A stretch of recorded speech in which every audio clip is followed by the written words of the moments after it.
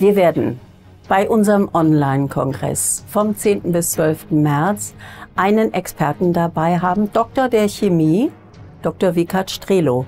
Er ist der noch lebende Pionier, der die Hildegard von Bingen Bücher gemeinsam mit Dr. Herzger übersetzt und sozusagen in unsere Sprache gebracht hat.